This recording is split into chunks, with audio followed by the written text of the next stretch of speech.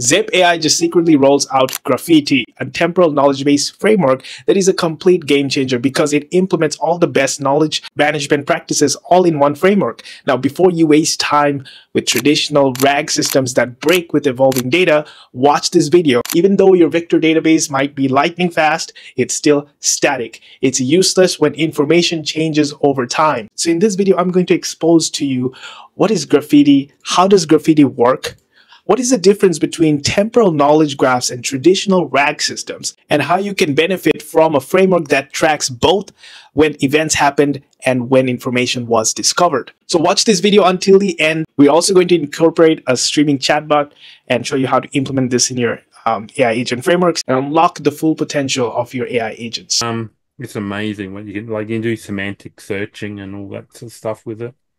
Yeah. And you can look at you get the pretty graph or you know that thingy how everything's interlinked, which I come through Graphiti, I guess.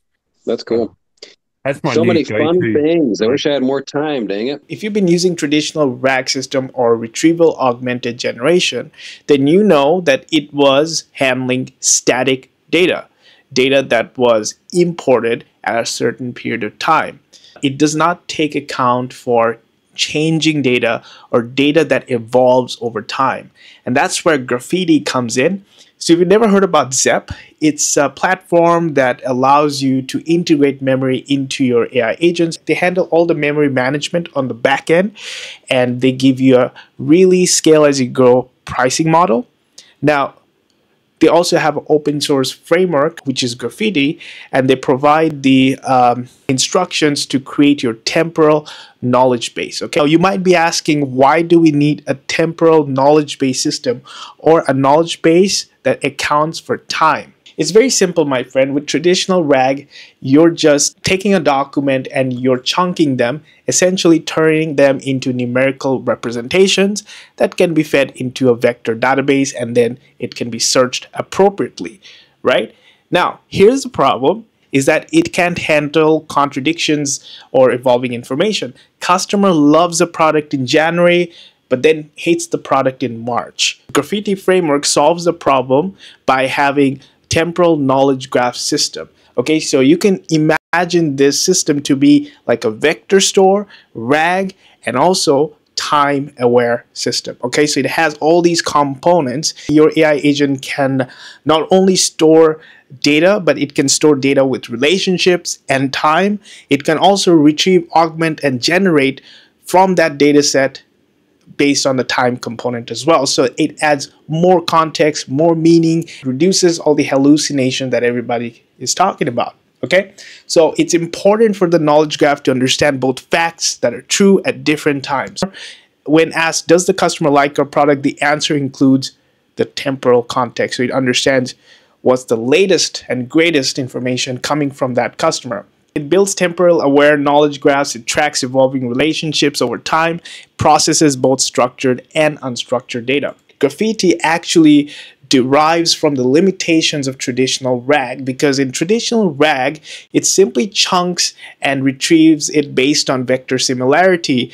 And in real world you know that relationships evolve, you know that data modeling evolves, and you might have heard about people talking about agentic RAG, then there's SAG, then there's all kinds of RAG implementations, but it's all stemming from the same root cause problem. It's called data modeling okay because we understand the relationships change over time it evolves the data models evolve over time we need a system that can also evolve with the data. That's where temporal knowledge graphs comes in. It ensures the data models are flexible, the data is unstructured and structured at the same time. So I'm going to dive more into the custom entity modeling in a little bit, which is going to be helpful for you to understand when you're developing knowledge graph memory systems. The magic really happens in Graphiti's triple layer architecture. You have episode subgraphs, which stores conversation and data, just the base data layer. Then you have semantic entity subgraph, which connects related entities with time context. And you might be wondering, well, Imtiaz, there's a lot of terms here. Don't worry, my friend, we're going to dive into a practical implementation so you can actually see what that looks like. What is entity? What is episodes? What is relationships? Or how one entity is connected to another entity, or how you or your agents can derive meaning from this kind of data set. The community subgraph basically groups the entities together and then sends it off to your AI agents or chatbots, etc., so that it can retrieve the relevant information uh, together with the right context. For example, the Freakonomics radio show episodes could be thought of as a community subgraph. It's basically chunking up, and then within that context, you have uh, different entities. It mentions Gavin Newsom in that podcast. So Gavin Newsom is an entity, and then there's other entities. Could be Kamala Harris or maybe California, maybe coffee. All these are entities, but they're all kind of grouped together under uh, one community if there is any kind of relationship, if there's any kind of mentions of these entities. And then when your AI agent retrieves that information, it gets all these chunked up information, gets a nice juicy amount of information that it can use to uh, basically provide uh, a better answer, a more relevant answer, a contextually aware answer, and thus reduce the hallucinations. Last layer of the architecture is the time component, and unlike traditional vector database that just stores static embeddings, Graphiti maintains bitemporal awareness, tracking both when events occurred and when information was added to the system. The temporal knowledge base data is stored in a graph format, so it looks like this. And um, I'm going to also put the link to this GitHub repository provided by GetZep. Go ahead and explore some of the examples that they have. I'm actually going to go through a small quick start implementation with you.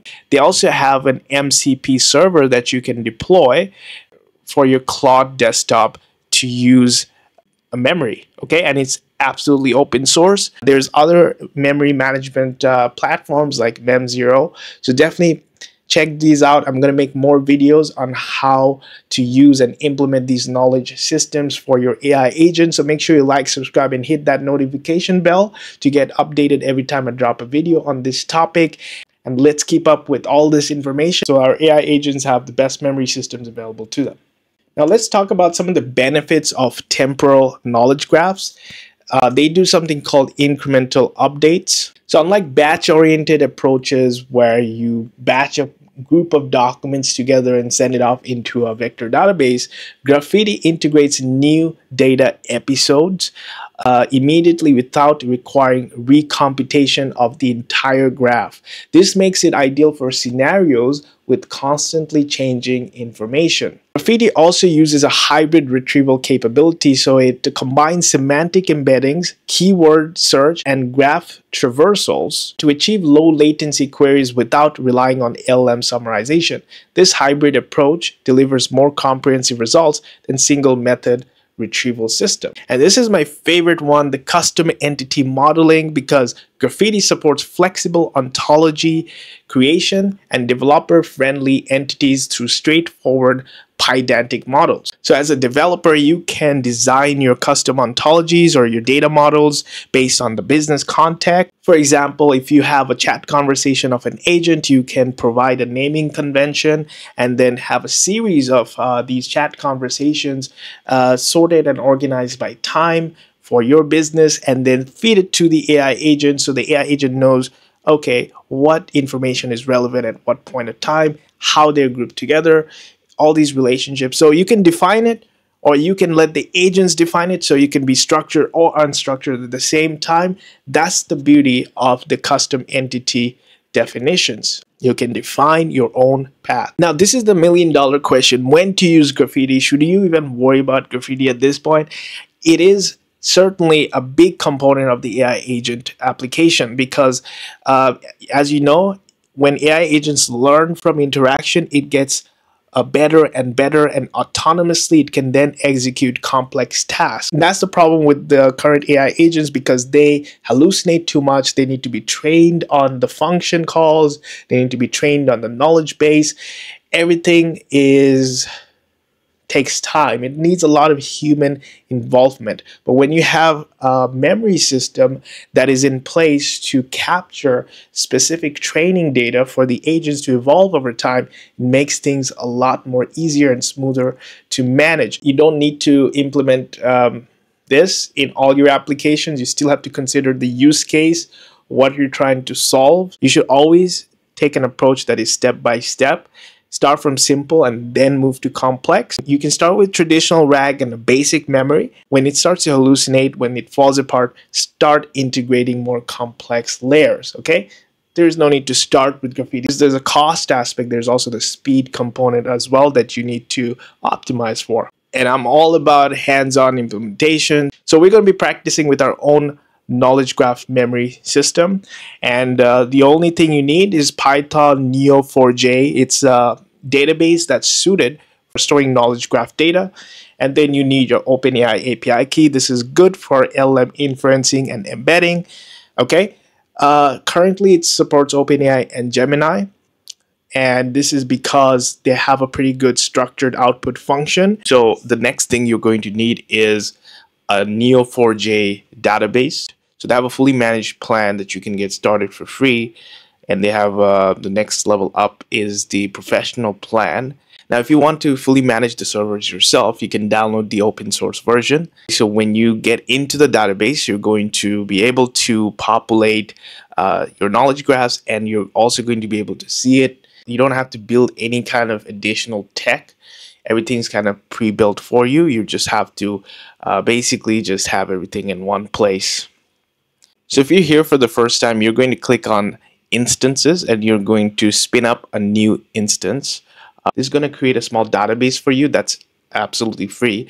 And uh, you're going to use a username. I think the default is neo4j and they're going to give you a password for the first time and then also uh, you're going to need the connection URI okay? Those three things you're going to need. And then you're also going to need your OpenAI API key for all the embeddings. We're now going to start working on our Google Colab notebook.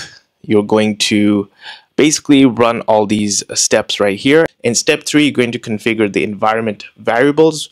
These are basically your API keys and your neo4j username password and the URI and don't worry the keys are stored in your environment so once you've successfully plugged everything in, you can then initialize the Graphiti client. And then step five, we're going to define the knowledge graph tools. So this is very important because when we're creating AI agents, we now need to provide tools for the AI agents to uh, interact with this knowledge base. We have add text episode, add JSON episode, search knowledge graph. This is the minimum amount of tools your agent needs to interact with the database. You can actually hook it up with an MCP as well and uh, talk to it in that way if you want. The MCP is going to give you a wide range of tools. So for a list of all the tools available, check out their MCP folder and the source code and you're going to get a lot of ideas from that as well. Then step six, we're going to create our AI agent. And in the AI agent, we've specified the tools that we're going to use. If you're going to use MCP based agent, you can just plug in their MCP server and then you can interact with it just off the bat. And uh, we're going to use GPT-4o model. Now, if you're curious what framework I'm using, I'm using Pydantic Agent Framework. Uh, but I'm still using OpenAI. The great thing with Pydantic, it lets you be model agnostic. You can switch out the models uh, to gauge the performance. Okay, it's just your preference. Some people prefer other models like Gemini. Some people prefer uh, perhaps some of the open source models if you're squeamish about that stuff. And this is some optional seed sample data and I just took it straight from the example code that they have provided. And you can send this off to the uh, knowledge graph and then it's going to store this data. So you can quickly test if uh, you can uh, basically interact with the database in that way.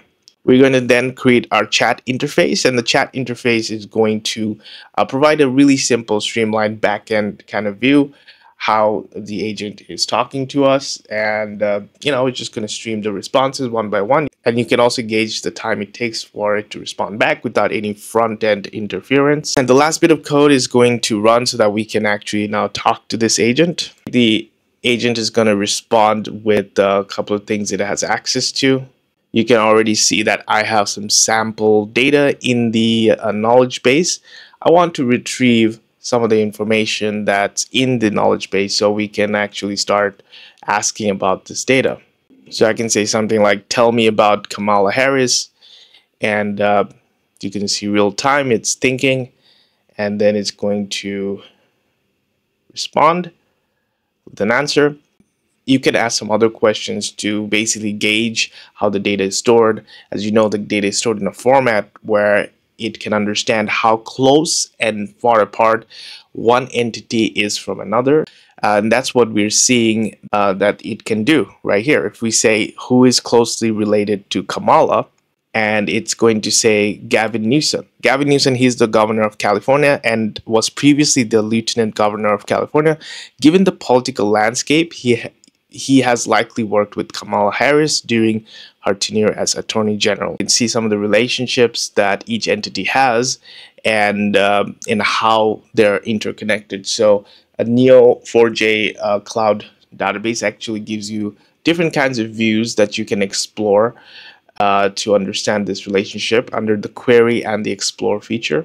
One of the things I like is the episode mentioned. So if I'm having some chat conversations and I've mentioned my name or I'm involved in those chat conversations, it points to that entity that uh, is being referred here. See, all the chat conversations are pretty much community subgraphs, which are chunked up. So the more things you bring up during the conversations, it's going to populate all these additional entities and nodes, understand how close and far apart they are. And that entire thing is going to provide contextual meaning to the AI agents. You could almost think of it as a neural network for our brain. So that's literally what it looks like.